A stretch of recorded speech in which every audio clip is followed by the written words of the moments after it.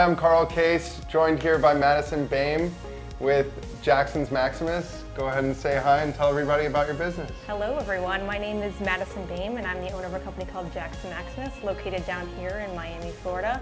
And what we do is we have a pretty unique concept and we actually combine a men's custom clothiers and fine men's salon all in one location. Awesome. And how long you guys been in business? We've been open about two years. We opened in November of 20, uh, 2019, so about two years. Quite timing. I know, for sure. Um, so when it comes to looking for a vendor, what do you guys ultimately look for when partnering with a company? Yeah, for sure. So some of the vendors have been, you know, great that we've worked with. Some common characteristics they have is they're reliable, number one, good customer service. They understand what we're looking for specifically as a business. They don't put us kind of in this general catch-all category. Sure. Like some of these, you know, larger corporations and software companies tend to do, but we really look for that individualized approach understanding what we need as a business.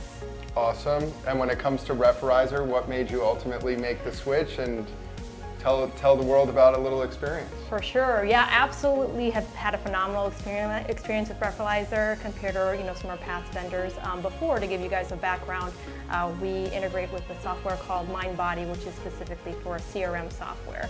And in the past, we have used a company called Frederick, which is MindBody's kind of version of what Referrizer did. Didn't have too great of an experience with them. Some of the capabilities were really limited and didn't offer us um, the flexibility we need. And one thing that drew us to Referrizer specifically is um, the text message platform and also the ability to generalize, generalize um, um, reviews specifically. And that's definitely helped us as a business growing our local um, touch and Brickell and communicating better with our clients. Awesome. Well, really appreciate your time. We appreciate your business. Yes, of course. Thank you so much, of Madison. Course. It's Have been a great great. day, everybody. Thank you. Thank you, guys.